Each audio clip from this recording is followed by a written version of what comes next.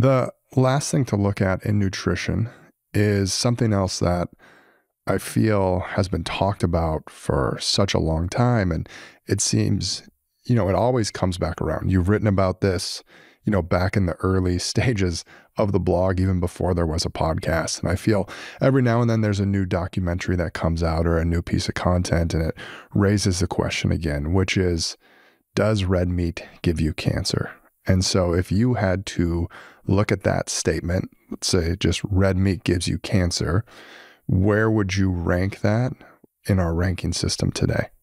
So this is going to sound bold, but I would actually put this in the nonsense category, um, which is not to say that a dietary pattern high in red meat could not play a role in the development of cancer. But that's very different than the question. So if the question is, does red meat cause cancer? I think that is not correct. And I think there's plenty of evidence that that is not correct. If the question is, do people who eat a lot of red meat or do people who eat a lot of processed red meat have a higher risk of getting cancer? I think the answer to that question is yes, but it's probably less because of the meat, although in the case of certain processing, it may be the case, but it's probably much more because of what they're not eating. It's probably much more because their diets tend to be much lower in vegetables and specifically much lower in insoluble fiber, which plays a very important role in the prevention of colorectal cancer.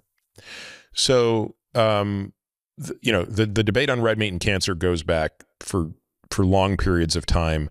Um, and again, it suffers from all of the usual trappings of nutritional epidemiology, which is why John Ioannidis famously said that all nutritional epidemiology belongs in the wastebasket. Um, the two most obvious problems with nutritional epidemiology in this regard are that it's very difficult to get an accurate reflection of what people consume using food frequency questionnaires. Uh, it's almost impossible. And secondly, uh, and I think more seriously, it's very difficult to disentangle the variable of interest from the other lifestyle variables that are covariates within the problem and that speak to what we refer to as the healthy user bias. So I don't dispute for one moment that every time you do an epidemiologic survey and you compare people who live on hot dogs and pepperoni to vegetarians, the epidemiology will always tell you that the vegetarians are going to live longer. Um, and while that might be an extreme example, you do appreciate that on average, those vegetarians have a much higher socioeconomic status. They are much more health conscious. They are exercising much more. They are much less likely to be smoking, doing yoga, all these other things. And therefore, how can we disentangle the variable from the effect? So, um, when you when you look at the most compelling case for people who eat the highest amount of you know meat and their risk of cancer. Um, you know, there was a there was a study that was done in Europe that looked at nearly half a million people, and it divided them into uh, a cohort that were eating more than 160 grams per day of uh, of protein from red meat and processed meat, and it compared them to people that were eating virtually none, 20 grams per day. So again, I like when they do this because you're at least taking like the most extremes. Um, and indeed, there was a difference, but it was relatively small, right? So even under that setting, um, it was the difference between a 1.7 uh, increase in the uh, increase in the risk of cancer uh, versus a 1.3 uh, uh, percent risk, absolute risk for um, colorectal cancer over the period of study. So, just again, what does that mean?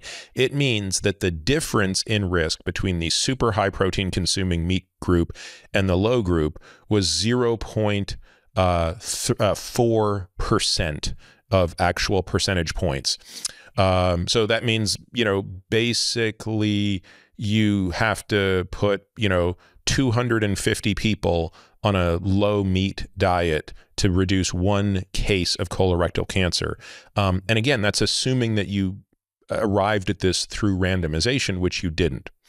Um, so again, there was another study that was done. Uh, it was a ten-year observational study that looked at about 150,000 people uh, with the highest tertile uh, of red meat consumption, and you know they had a 50% increase in absolute risk. Uh, pardon me, in relative risk uh, to those uh, in the lowest tertile. Again, I could you know the the error bar on this study was so big that it barely made statistical significance despite the sample size there which i think again just speaks to the heterogeneity of this. Um, net net i would say that every one of these studies basically ends up having the same issue with it which is when you look at the details you realize it is very difficult to um, to come up with a meaningful uh, view that it's red meat specifically that is driving cancer, as opposed to the absence of vegetables, the absence of fiber, or maybe the presence of some of the ultra processing things that go into consuming certain patterns of meat, like, you know, uh, uh, you know, gas station bought jerky and stuff like that. So, um, you know, we could talk a lot more about this, but I, I really think that the health effects, the ill health effects for red meat consumption is incredibly weak. Um, the hazard ratios themselves for this are very, very small, even with all of the limitations that I've mentioned. Um, and so, therefore, if you go back to kind of the Austin Bradford Hill criteria of epidemiology, which um, you know, I outline in great detail in the book, uh, very hard to imagine that there is causality here. In fact, the epidemiology here is so underwhelming that it almost draws the opposite conclusion that there it's almost hard to believe there is a signal given how underwhelming the epidemiology is. Uh, whereas conversely, when you look at the epidemiology of smoking or the epidemiology of exercise like th those are so overwhelming that it it it it factors into what we see as the overall causality narrative